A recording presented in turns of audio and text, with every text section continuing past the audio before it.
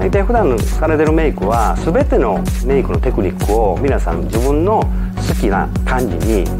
れるばっかりなんですよ。だから引き算はできないし引き算した時に物足らなくなるんですね。そういうことになりますよね。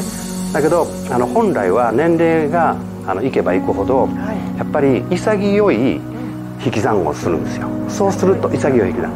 あの何かこう若い人と対抗しようっていうんじゃなくてその人生の経験値を持ったものがやっぱり雰囲気っていうのがありますよねその雰囲気を殺さないメイクをきちっとしないと